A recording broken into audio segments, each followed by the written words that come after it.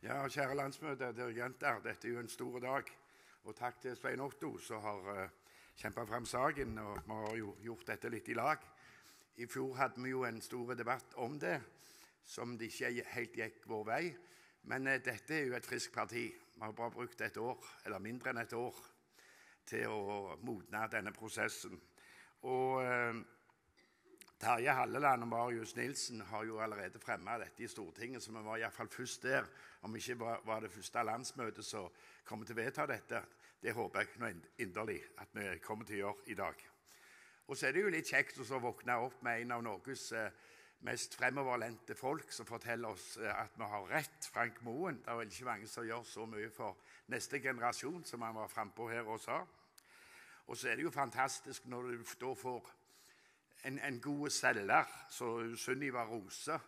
Altså, hvem er det som ikke kjøper varer av hun?